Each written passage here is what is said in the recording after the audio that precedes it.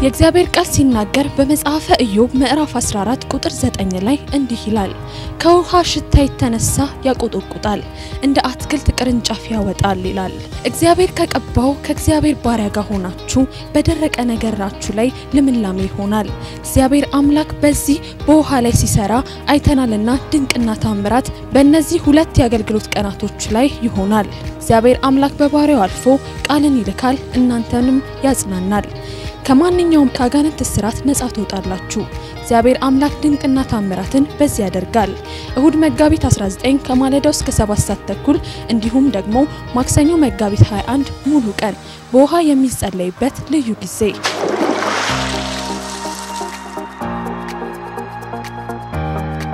መጽሐፍ ቅዱስ በሁለት ፍጥረታዊ ዓለም ላይ የሚሰሩ የጨለማ ኃይላት እንዳሉ ይሄም የብሱ ላይ ብቻ የሚሰራ የጨለማ ኃይል አለ። የውሃውን ክፍል የሚጠቀም የጨለማ ኃይል አለ። ውሃውን ክፍል የሚሰራው ኢሳይያስ ምዕራፍ 27 ላይ የተነገረውና ሌቪያታን ወይም ሌዋታን የሚባለው መንፈስ ነው። ይህ መንፈስ ትዳር ሰው እንዳይዝ ትዳር የሚያፈርስ መንገድ የሚዘጋ ገንዘብ የሚበላ መንፈስ ነው ሌዋታን። ዛሬ ይህንን ጋኔን በናዝሬቱ ጌታ በኢየሱስም ከላያችሁ ላይ ከዘራችሁ ላይ አይ ፕሮፌሳይ ሰበርከዋል።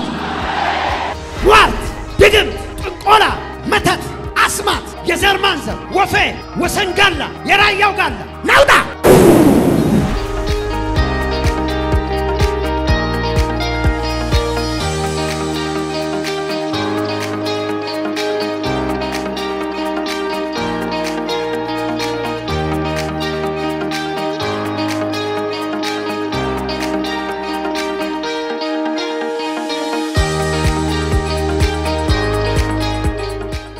ስንት ዓመት ሙሉ ከሚገርም ከእሷ ጋር ኖርኩ። 14 ዓመት ጀምሮ 14 ዓመት?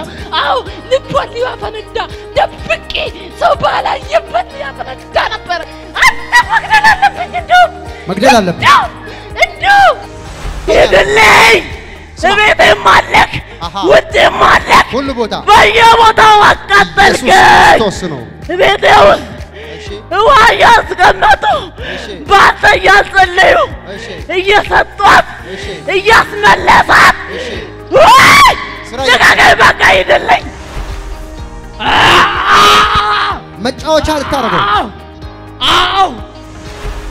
ልጇን ጥላ እንድትሞት ትዳሯ ብልሽት አድርጊው። እንዲያው እንዲህ ያሰርኳት። እሺ ጀግናው!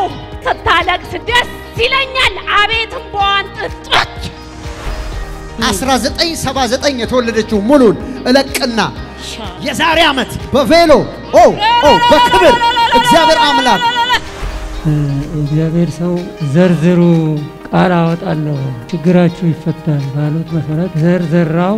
እዚያ ዘይት ውሃ ይዤ ገባው። የሚያመኝ ከአንገት በላይ ነው። የጉሮሮዬን ሁሉ ያንቀኛል። ረጅም ዓመት ነው፣ ስድስት ዓመት ሰባት ዓመት እኮ ነው። እና በዛ መሰረት ያንን ውሃ በትንሹ ስጠጣ ስጠጣ ስጠጣ ሲያስለኝ ሲወጣ ሌሊቱን ሙሉ ሲወጣ አደረ። ጠዋት እንደገና በቃ ሁሉም ነገር አልቆ እንደማስታወቅ አደረገኝ። በጣም ተሻለኝ። ፊኛዬን ኢንፌክሽን ነበረ፣ ኩላሊት ነበረ።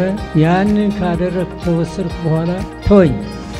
እግዚአብሔር ያደረገልኝ ውሃ ቀዳሁትና በይቃ አረኩትና ካጠገቡ ቁጭ አድርጌ ወፍጮ ቤት ሄድኩ። ወፍጮ ቤት ሄጄ አስፈጭቼ መጣሁና ትንሽ ውስጤ ስረበሽ ያንን ውሃ ጠጣው። ሲጠጣ ሰውነቴ ተረበሸና በቃ አዞረኝ። ከዛ ባኞ ቤት ገባሁና ባኞ ቤት ከተቀመጥኩት ይሄ ነገር አይታይም። ያለኝ አማራጭ በመታጠቢያ ልቀመጠናል ያልኩና በመታጠቢያ ተቀምጬ ሳያው ነጭ ነገር እንደ ጨረቃ ነገር ያለውም ይመስላል። ሌላው ደግሞ እንደ ንፍጥ ነገር ይመስላል። ከዛ ይሄ ነገርማ መያዝ አለብኝ። ይዤ ሄጄ ለዓለም መመስከር አለብኝ ያልኩና በሞባይል ያናት ሙሉ አካላተ ግማሽ ጎን ተበላሽተው አለው። እንደገና ይህ አንጀተ ከማጸነ ጀምሮ እንዲዞሮ እዚህ ነው ያለው አብጦ ማለት ነው። ሰገራና ሽንት ቤት ገብቼ ሰገራና ሽንት አልቀመጥ በጣም ነው አለው። እህል አልበላም። ሩጬ ተነሳውና ቲቪው ፊት ቆሜ ቱ አሜን ብሎ ሰው ሲቀበል እኔም አሜን እያልኩ ነበረ በቲቪው ላይ ማለት ነው። እና ግን የውሃ ጸሎትም ነበረ። ውሃችሁን ያዙ ሲባል እኔም ውሃ አስመላውኝና ቲቪው አጠገብ አስቀምጬ ውሃውን ይዤ ቆምኩኝ። ጸሎት ውስጥ ከማልቅ ሰዓት ሁሉ ቆምኩ። ከነሱ ጋር መቆም ማልችለው ሴትዮ ቆሜ ጸሎት ከማልቅ ውሃው ላይ ተጸለየ። ሰዎች ውሃውን ሲጠጡ እኔም በቲቪው ላይ አይቼ ውሃውን ጠጣው። አመት የቆየው ሴትዮ እንደ ሰው ሳይሆን እንደ ከብት እንደ ከብት ነው። ሽንት ቤት ሂጄ ሽንቴን የሸናሁት ከመጸዳጃ ቤት ወደ ቤት ሳልገባ ሽንት ቤት ሆኜ ነው ያመሰገንኩት። እኔ የሆነልኝ ለልጄ ነው። እዚህ መጥቼ ነበረ ዘይትና ጨው ይዤ ሄድኩኝ። ልጄ በአፍንጫ ውስጥ ስጋ ትርፍ ስጋ ነበረ እና ሐኪም ቤት ስንሄድ በመርፌ እንዲህ ሲወጉት ንጹህ ደም ነው የሚፈሰው። በሚነካ ሰዓት እባጩ በጣም እያበጠ መተንፈስ አትችልም ነበረ።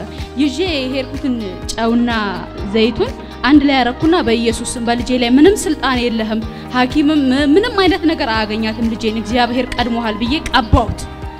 ቀብቼ አንድ ሰዓት አልቆየሁም። እንዲህ ከ sister ጋር ቁጭ ብለን sister ን ጠርቼ እብጠቱ እኮ እየባሰ ነው፣ ግን ከእግዚአብሔር ቤት ያመጣሁትን ዘይት ቀብቻታለሁ፣ እግዚአብሔር ተአምራትን ያደርጋል አያለውኝ፣ ሄጄ መሰክራለሁ ብዬ እስቲ ብላ እንዲህ ስታያት እብጠቱ አንድ የለም።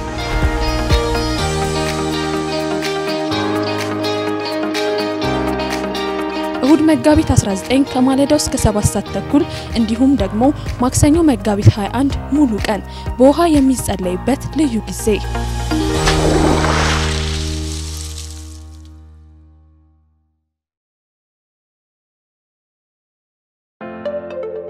የፌስቡክ ገጻችንን prophet ደረሰ ላቀው ህዝባር anointing TV የሚለውን like እና follow ያድርጉ።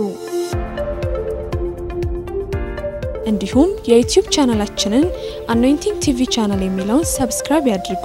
በየጊዜው የምንለቃቸውን የተለያዩ ቪዲዮዎች እንዲደርሱ የደውል ምልክቷን ይጫኑ።